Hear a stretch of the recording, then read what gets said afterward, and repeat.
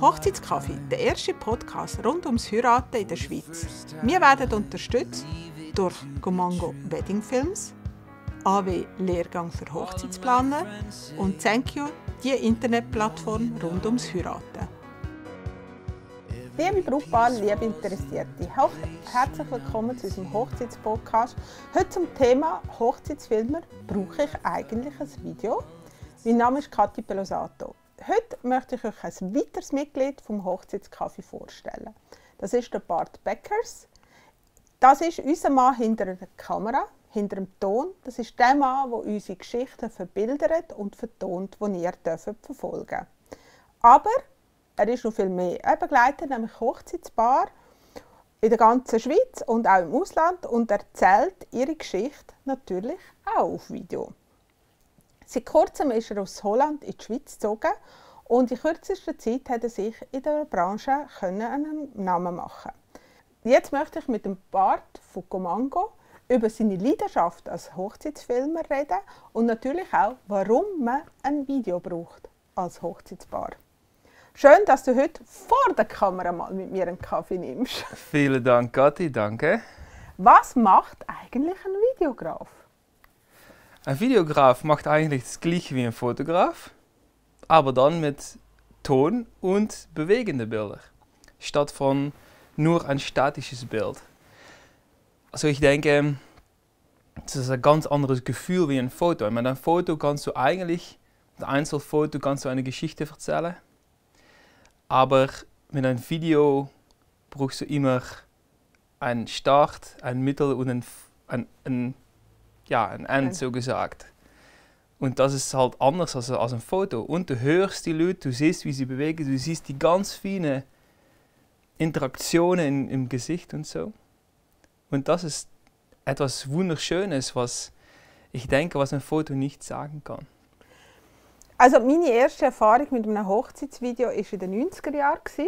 Und zwar war das die Hochzeit von meinem Cousin. gewesen. Da ist man, wie in Italien üblich, eingeladen worden, nachher den Videofilm zu schauen.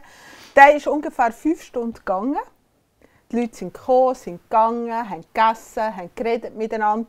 Also es war mehr ein Happening gewesen, als ein, ein Video schauen. Ich selber hatte für meine Hochzeit auch ein Video. Der ist, ich würde sagen, etwa so lang wie vom Winde verweht. Äh, leider verstaubt er seit vielen Jahren in der Schublade. Was hat sich verändert in der Videografie, in der Hochzeitsvideografie seit meiner Hochzeit vor fast 20 Jahren? Also wie lang war dein Video? Damals? 90 Minuten. 90 Minuten.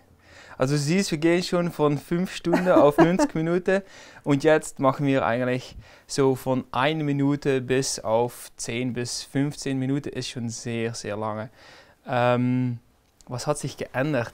Puh, die ganze Digitalisierung, das, das hilft schon sehr viel. Instagram, äh, Leute wollen gerne etwas teilen können und ja, äh, auch wenn, wenn dein Groß- oder deine Mutter mit einem mit Fotoalbum ankommt, oh, schau mal, Schatz, all diese Fotos und schau mal, diese, dieses ganze Video. Niemand schaut das mehr. Wir haben weniger Geduld, denke ich. Und das macht das Ganze einfach viel schneller. Die ganze Lebens... Äh, wie heißt das? Ja, die Pace. Lebenseinstellung ist, ist schneller. ist halt viel schneller heutzutage und deswegen, wenn ich ein Video erstelle auf, für Instagram, das zwei Minuten geht, ja, das loset, äh, ja, loget und loset nicht alle, äh, alle Bis Leute ganz Ende. bis am Ende. Also das muss schnell gehen, das muss zack, zack, zack, du musst schöne Momente zeigen und äh, wenn es dann direkt ein wenig langweilig wird oder so, dann schauen die Leute weg.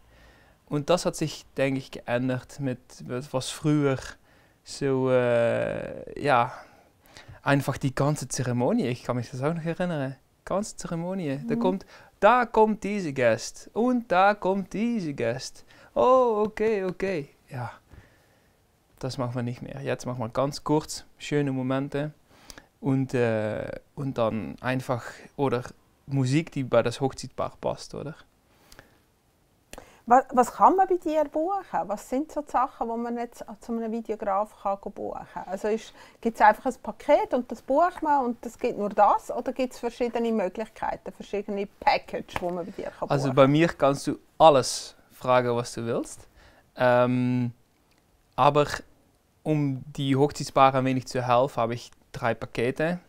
Also klein, mittel, groß. Und dann abhängig von welches Paket hast du da auch noch Drone-Footage dazu und auch noch ein kurzes Schnitt dazu. Oder man kann auch das Rohmaterial kaufen zum Beispiel. Oder, ja. Also ich persönlich finde immer so Filme, also jetzt nicht von Instagram, was du gerade gesagt hast, aber Filme so, finde ich so die Trailer Länge, so die fünf bis acht Minuten, finde ich eigentlich immer so das Schönste der Hochzeiten. Das sind so die, die Highlights, die wichtigsten Momente. Welche Erfahrung hast du gemacht? Welche Länge von Video macht Sinn? Gibst du dann mehrere Längen ab? Also kann der Kunde sagen, ich möchte etwas zwei Minuten, ich möchte fünf, acht Minuten und ich möchte 20 Minuten. Oder, ja, was, was macht überhaupt Sinn? Ja, also das ist eigentlich nicht an mir zu, äh, zu sagen, was Sinn macht oder nicht. Es ist ein wenig an das Hochzeitspaar, was, sie, was für Wert sie schätzen an, an das Produkt, oder?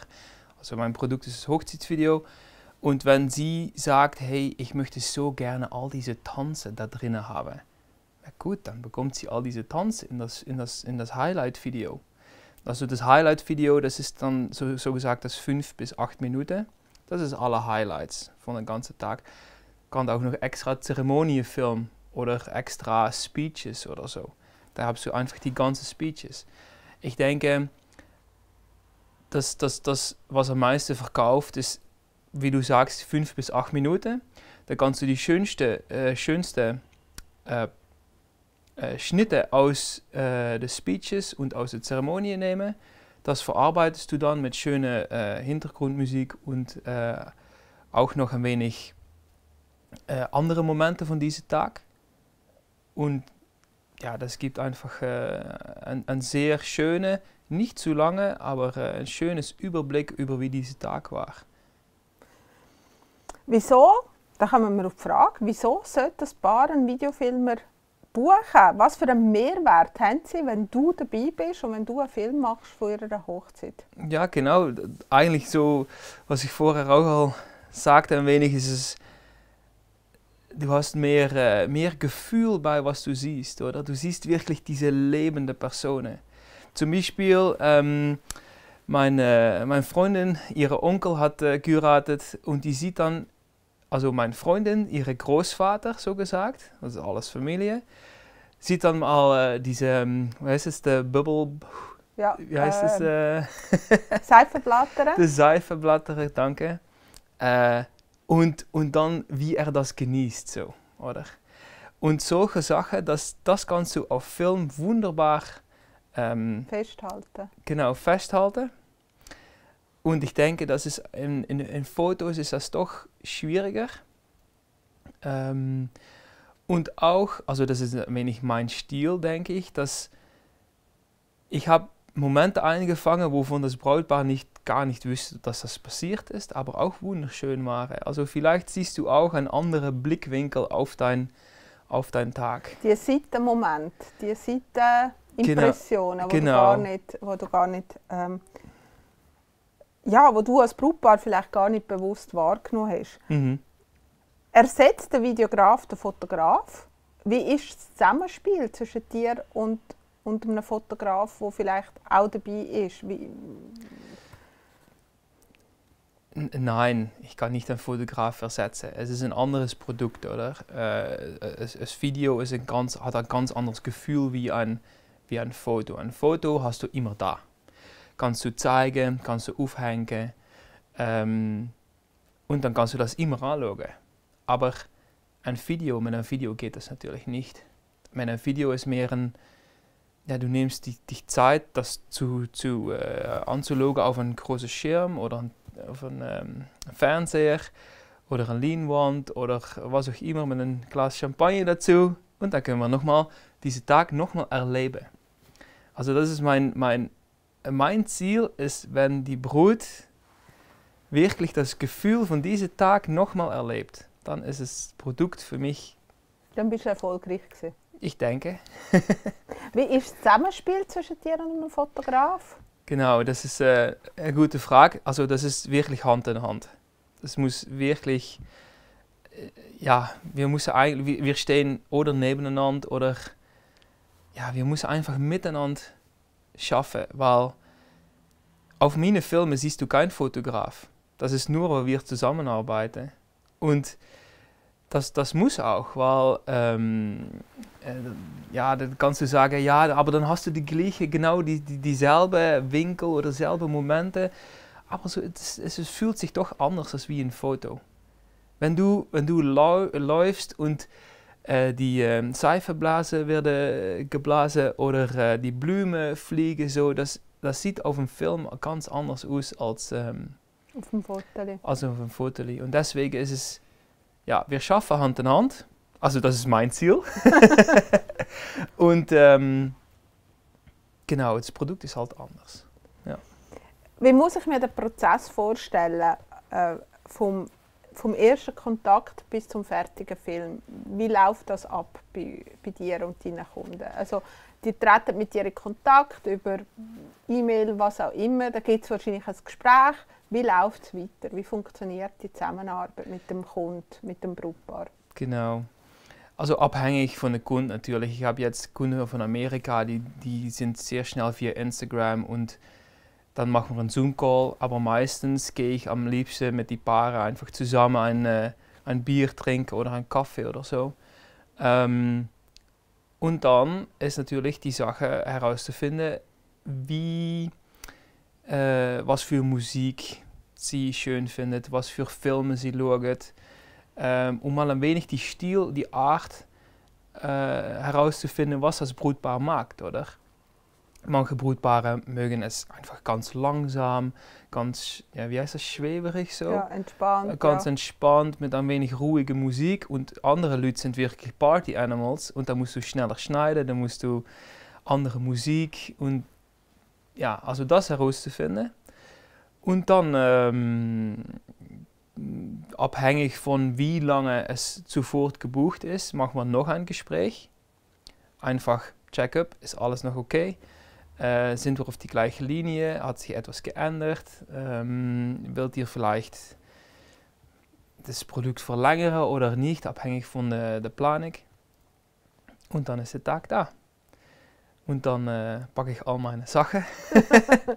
und dann, äh, ja, dann, äh, dann geht's los. Und ja, genau so. Ja. Aber deine Arbeit endet ja nicht am Abend um 12 Uhr.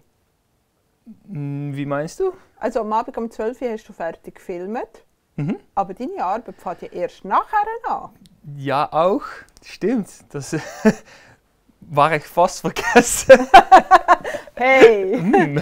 Aber das, ja, das ist genau das natürlich. Ich meine, die, die Nachschnitt, das ist unglaublich viel Arbeit. Also das, wo, wo, Kunden, wo Kunden für bezahlen, das ist eigentlich nicht nur, dass ich da bin. Also natürlich auch. Aber man hat das, das, das, das Ganze, ich meine, die Geschichte erzählt man erst nachher. Weil in, in, die, in die Schnitt kann man einfach Sachen, die zuerst passiert sind, kann man am Ende erzählen oder andersrum. Und, äh, und das macht es halt so, so schön. Man hat so viele Möglichkeiten. Und welche Möglichkeit von Geschichte passt jetzt am besten zum Brutpaar? Also da muss ich erst, erst was ich, was ich mache, ist äh, in die Musikdatenbanken. Weil Musik muss lizenziert sein. Können wir vielleicht nachher ja, noch darüber reden? genau, ich, möchte ich dich nachher ein bisschen fragen, was... Ja, und äh, da muss ich erstmal losen. Und dann schaue ich mich alle Footage an, was ich äh, äh, was ich gemacht habe und dann logisch, wie fühlt sich das? Okay, das nicht, das nicht. Und dann auf einmal hast du den richtigen Song für Witch. Und dann kannst du anfangen, okay, was mache ich jetzt erst? Erst Zeremonie oder erste Party oder vielleicht doch erst the Make-up oder wie hat sich dieser Tag angefühlt? Und dann, und dann so geht das sehr langsam das ist ein richtiger Prozess. He? Ja, und das ist auch, wieso Video wirklich äh, sehr aufwendig ist. Da kommen wir nachher auf jeden Fall dazu. Ja. Kannst du ein bisschen erzählen, gibt es Trends, die kommen? Ist das auch, wie zum Beispiel in der Dekoration oder verschiedene Sachen von der, von der Hochzeit hat es ja verschiedene Trends. Auch bei der Fotografie hat es Trends, hat es bei der Videografie auch Trends. Siehst du Trends, die von Amerika kommen, wo, wo du sagst, hey, ja, das ist das, was kommt. Mhm. Also äh, was jetzt wieder kommt, ist äh, mit einer alten Kamera filmen, weil dann hast du Vintage. äh, ist halt geil, wenn High man 8. der der High 8, genau. Ähm, also das und 8 mm Film, das ist wirklich ein, ein, eine Filmrolle. Mhm. Dack, Das geht so. Und da hast du in einer Rolle hast du eine Minute oder so. Und das zusammen, zusammen verarbeiten mit deinem digitalen Bild ist halt, ja, das, das kommt jetzt immer wieder. Äh, genau, dass dein, dein Video wenig Vintage kombiniert mit schnelle, äh, schnelle Schnitt und oder langsamen Schnitt, dass es ein wenig Vintage aussieht. Das, das ist jetzt da, was ich merke. Ähm, genau, ja, das wird auch ein wenig beeinflusst durch diese Instagram-Filter natürlich. Hä? Durch diese Filter, die man auf auf dem Telefon hat. Äh, und dass es, dass es manchmal einfach so verspringt oder so und dann siehst du das andere Bild, das ist dann. Komm mir gerade in den Sinn. Das ist eigentlich gar nicht. Ich habe jetzt eigentlich etwas ganz Wichtiges vergessen. Meine Eltern haben 1970 schon einen Film gehabt von ihrer Hochzeit. Ist zwar ein Stummfilm, Ja. 1970, aber irgendein Kollege, ein- irgendein Freund hat das gefilmt. Und das ist wirklich so, wie du sagst, gell, so ein bisschen klotterig. Und ähm, wir haben das vor ein paar Jahren dann ähm, auf digital la, la Mhm. umkonvertieren lassen. Schön, hä? Für meine Mami, ja. Es, äh, ja, siehst also meine Familie ist da recht früh trendig unterwegs. Siehst du? Nein, ich meine, aber wie wir schon gesagt haben, du begleitest sie mehrere Stunden am Tag vor Ort. Also ist die Chemie zwischen dir und dem Brautpaar extrem wichtig, weil Sehr. du bist ihnen sehr, sehr nah, gell? Ja. Ähm, du musst nachher das ganze Material in so, ich meine, es sind zwölf Stunden in fünf Minuten. Also ich, ich finde es schon schwierig, wenn ich muss eine Fotoauswahl machen äh, Ja, also wie viele Stunden dauert eigentlich so ein Schnitt, wo du, wo du hast? Also wie Gut. lange dauert der Prozess nachher? Ja, lang. Ähm, also erstmal pro Minute Film habe ich wirklich abhängig von wie viel Effekte, wie es aussieht, muss es, high, äh, muss es äh, 8 mm Effekt noch oder vielleicht noch äh, Verspringungen oder was auch immer. Aber so in generell zwischen 8 und 12 Stunden pro Minute. Das ist viel. Also wenn, wenn meistens mit einem mit einem Film von 5 Minuten, dann hast du so einen Schnitt von 40, ungefähr 40 die du Stunden. Ja. Ich mache es ja bei den Fotos mache ich so vom Grossen zum Kleinen. Das heisst, ich tue immer wieder einengen. Ähm, gehst du auch so beim Film vor oder gibt es so Favorite Scenes, die du rausnimmst? Oder weißt du schon beim Filmen, oh, das will ich dann reinschneiden? ja, das Gute ist natürlich, ich bin am Tag vor Ort gewesen, also deswegen weiß ich ungefähr, wo die Momente sind, aber trotzdem weißt du nicht ganz genau, ich meine, da, es passiert so viel an diesem Tag. hä. Es ist manchmal ziemlich hektisch, chaotisch, du bist mit dem Fotograf zusammen und manchmal verwackelt deine Kamera. Scheiße. Moment kannst du nicht benutzen. Da musst du halt ein anderes Moment finden, das doch das Gleiche erzählt als, äh, als das Moment, was du eigentlich nicht ganz, nicht ganz gut gewesen ist, oder? Und das heißt, äh, meistens habe ich am Tag so zwölf, nicht, ich, ich filme nicht zwölf Stunden, weil dann kannst du einfach eine Kamera auch, herstellen. aber auch sieben Stunden ist viel. Nein, meistens habe ich so ungefähr zwei Stunden, oder? Von, von alles. Und ähm, ja, das ganze Material musst du halt durchgehen. Du musst schauen, wo sind die schönen Sekunden. Ah, da loogt sie ganz genau so und da ist das Licht gut. Und äh, das ist ein perfektes Moment. Okay, das dauert drei Sekunden, vier Sekunden. Okay, das kann ich dann da verwenden. Und so musst du das dann immer schauen, wo du Momente verwenden kannst, sodass du deine Geschichte erzählst. Ja, die Geduld hätte ich halt nicht. Ich auch nicht. Also, du hast gesagt, also der Schnitt ist etwas. Nachher kommt Text, es kommt Musik, es kommt die Übergänge, die du musst reinbringen musst. Und du hast vorher gesagt, du kannst nicht einfach Musik aus dem Internet abladen und sagen, ich nehme jetzt den Katy Perry Song oder ich nehme jetzt den Song von ich weiß auch nicht was, sondern wie funktioniert das wirklich, dass du das darfst nutzen Das ist eine sehr, sehr schwierige Gesch- Geschichte. Äh, es hat alles zu tun mit Musiklizenz und Urheberrechte. Wenn ich zum Beispiel ein Foto mache, ähm, dann bin ich der Urheber von, das, von dem Foto. Und wenn ich dann das in, in, ins Internet stelle, dann siehst du das Foto und denkst du, wow, geile, cooles Bild, das will ich auch. Du kopierst das und du druckst es aus. Das ist okay, das ist für dein eigene, für dein eigene, äh, Gebrauch. Benut, eigene Gebrauch, eigene Benutzer. Und dann ist es okay. Das darfst du auch mit Musik. Aber jetzt ist es so, dass ich das will zeigen an andere Leute und dann wird es ganz anders die Geschichte. Dann ist es eigentlich so, dass, ähm, dass ich muss sagen, hey, äh, der Herr Beckers hat das, äh, hat das Foto gemacht. Das machen nicht viele Leute. Wenn hey, das ist mein Foto, du darfst es nicht verwenden, dann, ähm, ja, dann musst du Leute oder äh, musst ein anderes Foto nehmen, oder? Wenn du es nicht verwenden. So ist es auch mit Musik. Bei Musik, äh, wenn Pharrell zum Beispiel sagt, du kannst das äh, verwenden, dann ist es so. Aber du hast auch Musikanten, die, bei wem du das verwenden darfst. Und dann ist es so, dass du diese Musikant bezahlst, so gesagt, für die Verwendung von der Musik. Also und- Nutzungsrechte. Nutzungsrecht. Genau.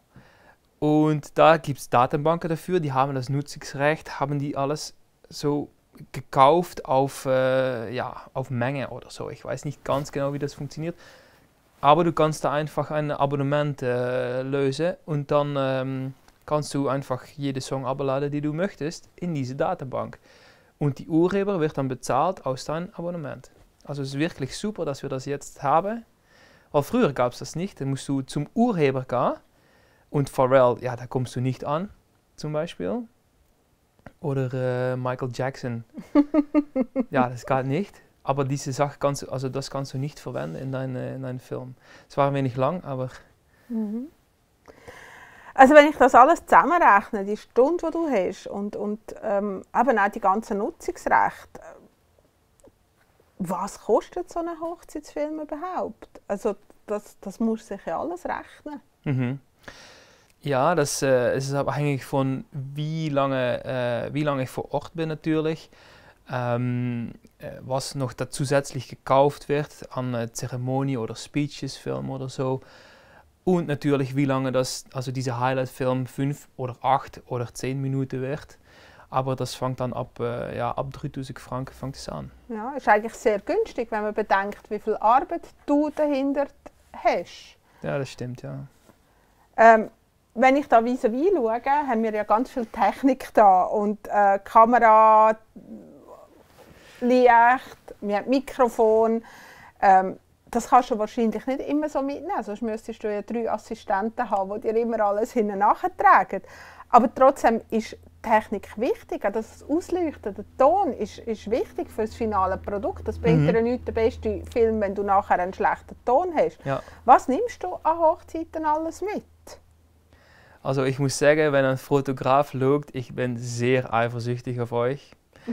Weil die nehmen einfach ihre Kamera mit, Backpack mit und äh, Backpack und dann ist es gut.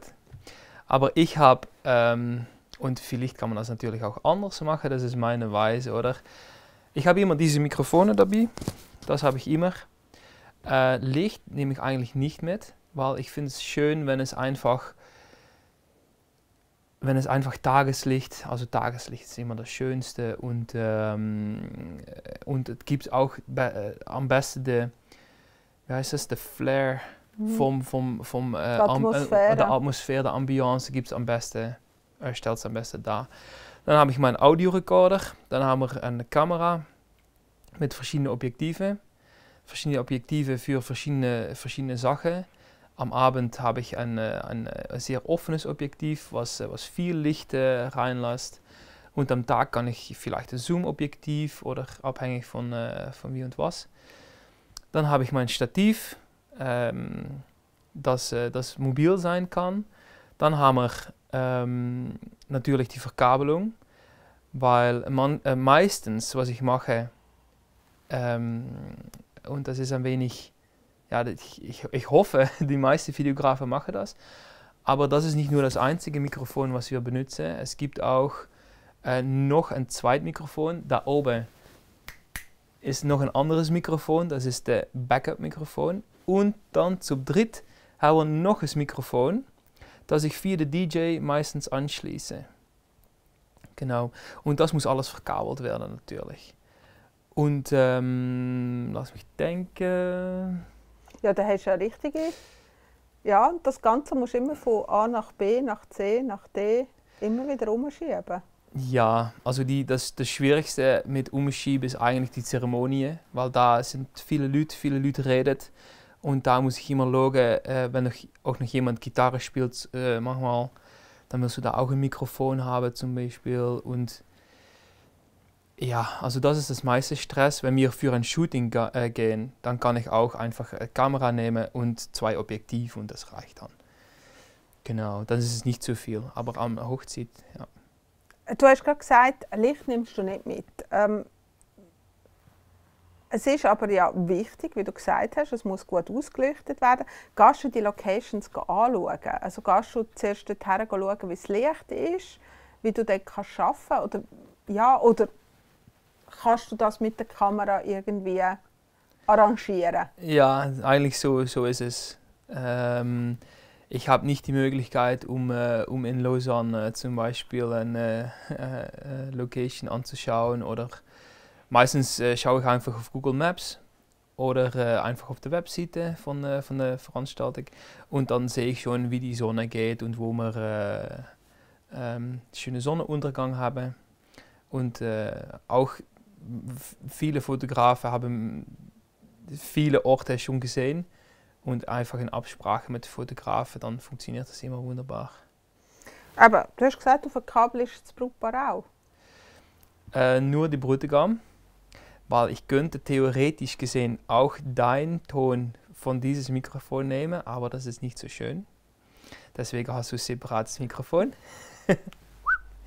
und ähm, aber wenn, wenn das Brutpaar, das steht viel näher aneinander, der Mur und wenn sie etwas Liebes sagen zueinander, dann fängt das Mikrofon einfach beides auf.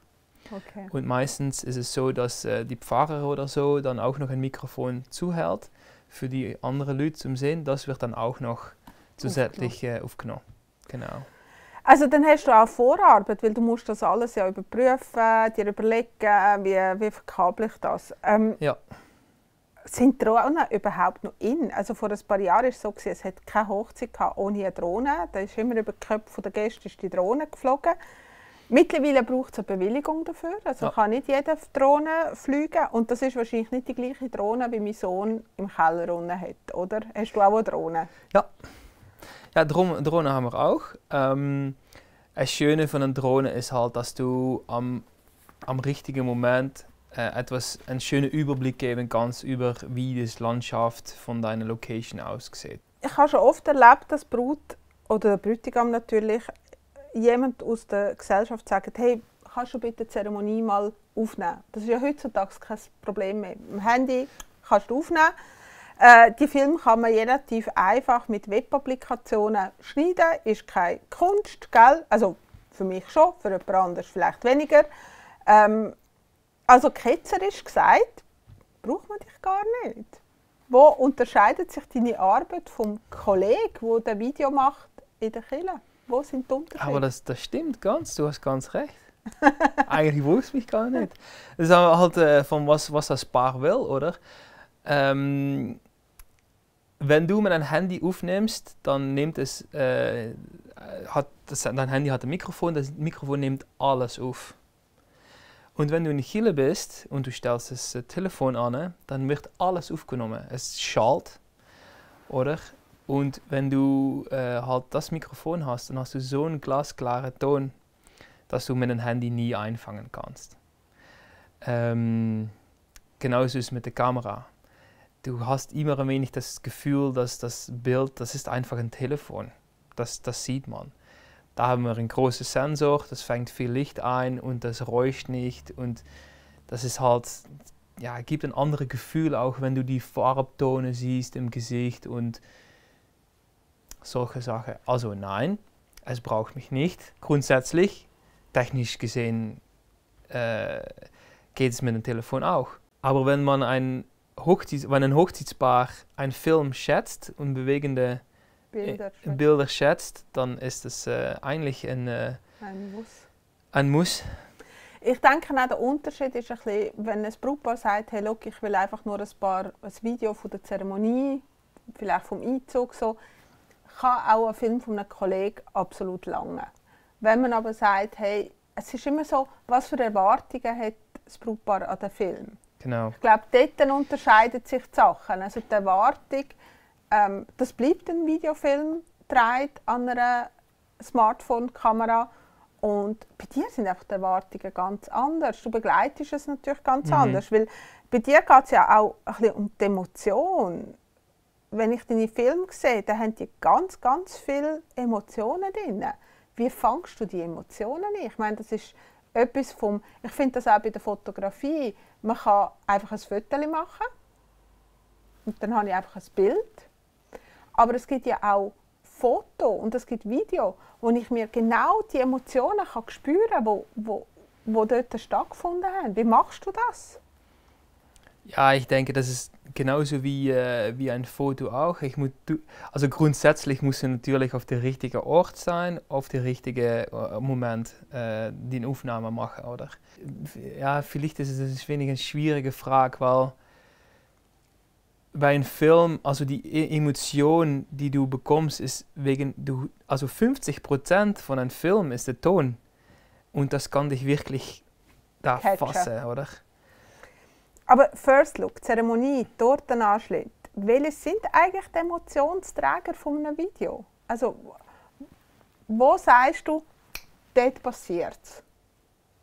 Das sind die emotionalen Momente, da, da darf ich nicht fehlen und da muss ich auch meinen Job super machen. Also ich kann dir jetzt sagen, als Hochzeitsplaner ist zum Beispiel Einzug in die Kille von der Brut, das ist, da müssen wir hundertprozentige Arbeit leisten. Ja. Wenn dort dann etwas schief geht, dann ist es schief gegangen. Du Mhm. kannst nicht einfach der Brut sagen, geh nochmal zurück. Also das ist ein sehr wichtiger Moment, äh, wenn die, wenn die Brutkille inkommt oder äh, die Ringe tauscht oder der Ehegelübde, wenn sie äh, diese Sachen zu ihrer Rede äh, zueinander Sagen. sagen und äh, dann hörst du die Stimme, dann hörst du, dann siehst du die vielleicht eine Tra Träne und vielleicht, äh, also dann, dann, und wenn du dann das wieder siehst auf einem Film, dann spürst du das Gefühl auch in deinem Bauch, wie schön das ist, dass diese, diese Liebe zueinander, dass sie das zeigen, oder? Und Also sind Tränen, Liebe, Lachen, sind eigentlich das die Emotionen, die du in deinem Film hast und nicht im Sinn von der First Look oder Zeremonie. Das muss nicht unbedingt der emotionale Moment sein. Es kann das, der Moment sein, wo ähm, der Bräutigam die Brut das erste Mal sieht oder wo Genau. an der Brut eine Träne runterläuft beim Ehegelübde. Das sind die Momente, glaube Genau. ich, wo du weißt, okay, jetzt muss ich draufhalten. ja, Äh, äh, ich habe eine komische Frage. Wie schaust du eigentlich durch die Kamera durch? Also mit welchem Blick? Also, es, es ist eine komische Frage, ich weiß, aber du musst ja wie so im Kopf so eine Abspielung haben, so schaue ich rein.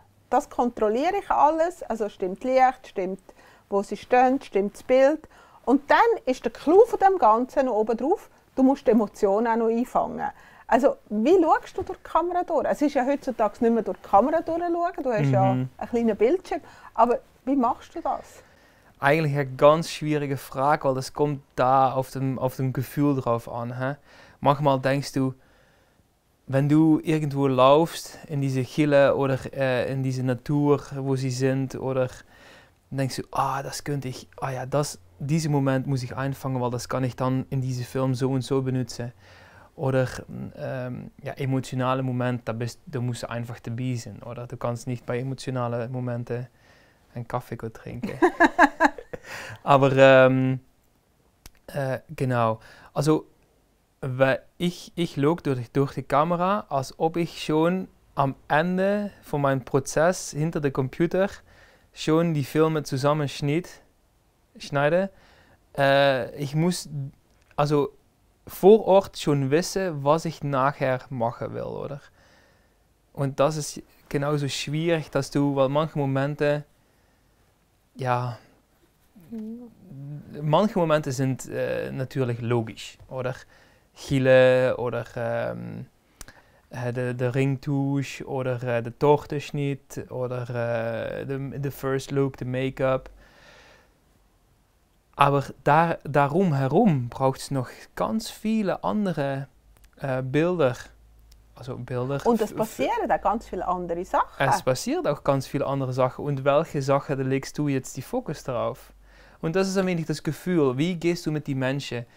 Also wenn, wenn ich als Videograf, ich rede sehr gerne mit den Leuten. Und dann sind sie ganz entspannt. Also wenn ich dann mal die Kamera hochhebe, also das ist sowieso, erst reden wir, trinken wir ein Bier oder einen Kaffee oder einen Cola zusammen.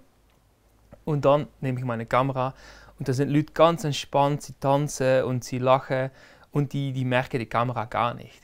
Und dann hast du eigentlich die besten, die schönsten Momente, oder? Was ist, wenn vor deiner Kamera einfach nichts passiert? Also wenn es einfach eine stinklangweilige Hochzeit ist, wo einfach nichts passiert, kannst du eine Hochzeit auf lustig machen? Also kannst du kannst du mein Video upgraden auf, eigentlich war es eine stinklangweilige Hochzeit, gewesen, aber auf dem Video sieht es aus, als wäre es eine Hammerstimmung gewesen. Also bis jetzt ist es noch immer äh, gut gekommen. aber genau, das ist, was du, äh, aber ja, das ist ein wenig auch mein Job natürlich. Ich muss, eine leere Tanzfläche muss einfach voll aussehen, oder? Und deswegen hat man da spezielle Kamera-Angles, Kameratechniken, die man benutzen kann, um das doch ein wenig äh, mehr Schwung zu geben. Vielleicht macht man einen Dreh mit der Kamera oder vielleicht bist du etwas näher an der Person ran oder genau. Also kannst du upgraden. Das geht, ja. Also das, die, die Geschichte wird im, im, am Ende wird die äh, in die Schnitt erzählt und in, im Schnitt kann man so viel noch Genau Sachen zum Thema machen. Geschichte möchte ich jetzt kommen. Also äh, Geschichte, die du erzählst, muss ja einerseits zum Brautpaar passen also zu ihrer Art, wie sie, wie sie leben, wie sie sind. Ähm, ich als Hochzeitsplanerin arbeite ja mit Spannungsbogen, mit Dramaturgie, mit Inszenierung. Das heißt, ich tue Moment mit Inszenierungsmitteln unterstützen, damit sie noch, noch viel stärker, emotional viel stärker kommen. Ähm, das merken natürlich Gäste an und für sich nicht. Sie merken eher, oh, wie harmonisch, wie emotional ist der Moment. Aber das haben wir natürlich ähm, ja, künstlich hergestellt. Ja, und, deswegen, und deswegen müssen wir zusammen arbeiten auch. und äh, natürlich muss, muss man nicht das Gefühl haben, dass das künstlich ist. Also es muss sich immer ganz spontan anfühlen. Genau. Wie erzählst du Geschichte? Also, aber du hast mir jetzt gerade gesagt, eigentlich in dem Moment, wo du filmst, bist du schon am Storytelling, bist du auch schon an deinem Schnittpult aber du kannst ja vorgängig kein Drehbuch machen. Also ich, ich, ich fühle das ganz schwierig. Also mhm. das, du bist ja nicht so wie äh, ein Filmemacher, der ein Drehbuch hat oder ähm, die, die, die, Story fasst du dir beim ersten Gespräch an, entwickelst du die an dem Tag. Wie geht bei dir Storytelling? Also genau wie du sagst, bei mir kommt das beim ersten Kundengespräch einfach, dann fühlst du, wie sind diese Leute. Wie, sind, wie, wie, wie, wie wie ticken die? Genau. Und dann an diesem Tag, dann siehst du ein wenig, wie das, wie dieser Tag läuft. Läuft es ein wenig schwierig, ein wenig langsam, dann, ähm, ja, dann, dann wird die Geschichte eigentlich auch von alleine ganz ruhig, etwas, so wie du durch ein schönes Landschaft läufst mit, mit Wind und ein wenig Vögel vielleicht und äh, ja, dann wird auf diese Weise kommt so die, dann hast du eigentlich vielleicht eine eher chronologische Form von Geschichte erzählen. als, äh, als von einem sehr dynamisches Paar. Bei einem sehr dynamisches Paar kann es zum Beispiel sein, dass ich erstmal anfange, fängt die Film erstmal an mit der Party, um mal so reinzukommen. Und dann habe ich die, die Zuschauer gefasst und dann, kann, dann hast du eigentlich die Party, ist das ähm, Klima, da kommt der Klimax am Ende natürlich und dann hat man wieder Zeit zum Atmen und dann kommt man in die Zeremonie rein, oder? Also es ist abhängig von, von wie das Paar auch wenig Funktioniert. funktioniert und wie die Tag für mich sich angefühlt hat. Weil Genau. Storytelling ist ja eben wichtig. Also es gibt ja nichts Schlimmes, als da denke ich wieder an den 5-Stunden-Film oder so, wo einfach kein Storytelling dahinter hat, sondern einfach es widerspiegelt, was ist an dem Tag X passiert. Aber bei dir geht es ja, auf der einen Seite ist es, was ist passiert, aber auf der anderen Seite gehst du ja mit Ton, mit dem Licht, mit der Musik, mit deinen Bildern, erzählst du ja eben eine Geschichte. Mhm. Und das ist auch das, das Schwierige und da muss ich äh, ganz ehrlich sagen, ich meine, jetzt, jetzt mache ich meine Geschichte so, wie ich sie zeige auf Instagram, Website und vielleicht nächstes Jahr habe ich ein anderes Gefühl und übernächstes Jahr das Gefühl entwickelt, entwickelt sich immer mehr und mehr und, und anders natürlich. Also wie ich jetzt Geschichte erzähle, sagt nichts über wie ich in fünf Jahren vielleicht eine Geschichte erzähle. Ist, ist in dem Fall auch ein Videograf ein Künstler? Also Ja, ist, sowieso. Hast du, hast du so dein, dein Fingerpoint, wo du sagst, okay, meine Geschichten sind immer, fühlen sich immer so an. Ich komme wieder zum Thema Fotografie, das ist Ja. auch ein Stil. Ja. Also soll das Brautpaar auch deine Filme mal anschauen und sagen, okay, passt, passt mir der Stil. Also ist, ist das wie ein Gemälde, wenn ich ein Gemälde anschaue, kann ich sagen, äh, komme nicht raus. Und ein anderer kommt und sagt, wow, was ist das für ein schönes Genau, Gemälde. wird er gleich reingezogen und das ist genau mit, mit den Fotos, äh, Fotos ist es so, wieso ist eine Fotograf, hast du gerade einen Klick und mit anderen Fotograf schaust du an die Fotos und denkst du, ja, hm, okay, das passt nicht so zu mir. Das können Farben sein, das kann, das kann ein Winkel sein. Äh, ein wichtiges Beispiel ist, zu mir, wenn, wir, wenn, wenn, wir, äh, wenn ich mit meiner Freundin Sonja, sie kommt öfters mal mit auf Hochzeiten als äh, Zweitkamera und sie, äh, sie ist halt kleiner wie ich. Oder? Und sie hat die Kamera, sie hat die Kamera einfach auf eine andere Weise. Und dann, dann siehst du schon, wenn wir äh, au- auf dem gleichen Moment da sein, siehst du schon, dass zwei verschiedene Videografen einfach etwas anderes äh, äh, zeigen, Winkel. einen anderen Winkel haben. Nein, aber weißt, ich finde aber auch, ähm, es ist das Gleiche wie mit dem, komme wieder sorry, auf das Thema Fotografie, ist beim Videografen auch so. Du bist, wir haben vorher gesagt, du bist sehr nah am Brautpaar und wir sind alle, also Brautpaar sind ja keine Models. Das heißt, wenn das Brautpaar dich nicht mag, dann siehst du das auf jedem Bild. Also es ist Chemie, das Kennenlernen ist extrem wichtig zwischen dir und dem Brautpaar. Mhm. Weil wenn das Brautpaar das Gefühl hat, hm, ich kann mit dem Paar nichts anfangen, dann wird auch die, der Funke an diesem Tag nicht überspringen. Oder, Genau. oder verstehe ich das falsch? Das siehst du ganz gut, äh, weil das sieht man auf jedem Bild, das, auf jedes Bild. Deswegen kommt es bei mir fast nicht vor, dass ich so eine Situation habe, weil diese Kunde, ja, das passt nicht zu mir und das, ja, ich denke, diese Paare würde sich vielleicht eher nicht für Videografie entscheiden, oder? Dann, dann Für- können wir ein bisschen auch unser Gespräch ein bisschen zusammenfassen. Ich denke, für jedes Brautpaar, das sich für einen Videograf entscheidet, ist A wichtig, ihn kennenzulernen. Mhm. Ähm, ich denke, der Preis ist sicher ein, ein wichtiger, oder die Kosten ist sicher ein wichtiger Punkt, aber es geht mehr darum, ist der Stil unser Stil? Ist der Videograf die Person, die wir gerne den ganzen Tag an unserer Seite haben? Ähm, ja, dass man nicht den, den, den stundenlangen Film hat, sondern dass man wirklich auch sagt, hey, ich will die emotionalen Momente, die emotionalen ähm, Highlights haben, dass man das Zusammenspiel, also auch schaut, funktioniert mein Fotograf mit meinem Videograf? Also vielleicht der Fotograf fragen, hey, hat es einen Videograf, wo du zusammen schaffst? Ja, Weil da stimmt ja Chemie schon. Also nicht unabhängig voneinander buchen und sagen, ich habe da den Fotograf und so ist der Videograf. Ja. Schaut mal, wie ihr zusammen den Tag über die Runde bringt. genau. Äh, ja, und dass auch wirklich bedacht wird, dass die Arbeit vom Videograf erst am Ende von der Hochzeit beginnt, dass 70 Prozent von seiner Arbeit ja erst nachher kommen, mit Schnitt und Nachbearbeitung. Für Fotografie ist das natürlich auch Äh, Absolut, so. ja. ja, genau, dort ist es genau das Gleiche. Also Mhm. ist ein Video quasi auch eine Investition und kostet dementsprechend. Ja. Dass Technik und die örtlichen Begebenheiten wie Licht extrem wichtig sind, dass der Film auch wirklich ein Erfolg wird oder eine Qualität hat. Und dass der Videograf nicht einfach nur Bilder aufnimmt, sondern eine Geschichte erzählt. Ja. Habe ich jetzt noch etwas vergessen? Abschließend. Abschließend, äh, ich denke, das ist, äh, das ist sehr, sehr, sehr gut zusammengefasst.